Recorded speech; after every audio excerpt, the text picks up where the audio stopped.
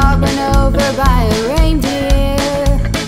Walking home from our house Christmas Eve. You can say there's no such thing as Santa. But as for me and Grandpa, we believe. She'd been drinking too much eggnog. And we begged her not to go.